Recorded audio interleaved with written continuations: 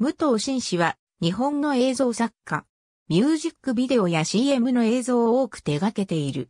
世界的に著名なデザイナー、コムデ・ギャルソンや一世三宅のキャットワーク映像を手掛け、ファッションの世界から映像制作のキャリアをスタートさせる。日本における VJ の先駆け的存在でもある。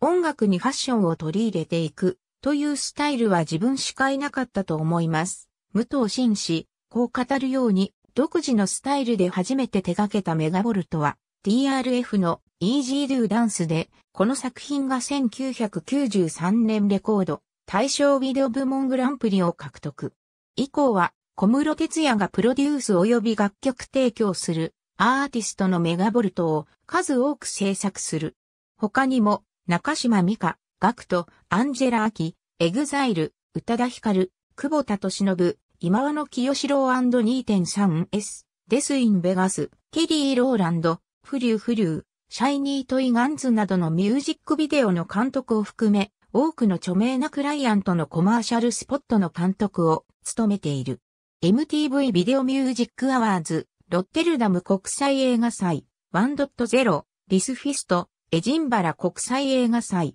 ロンドンファッションフィルムフェスティバルなどにおいて数々の賞を獲得。2005年第3回 NHK ミニミニ映像大賞審査員。ありがとうございます。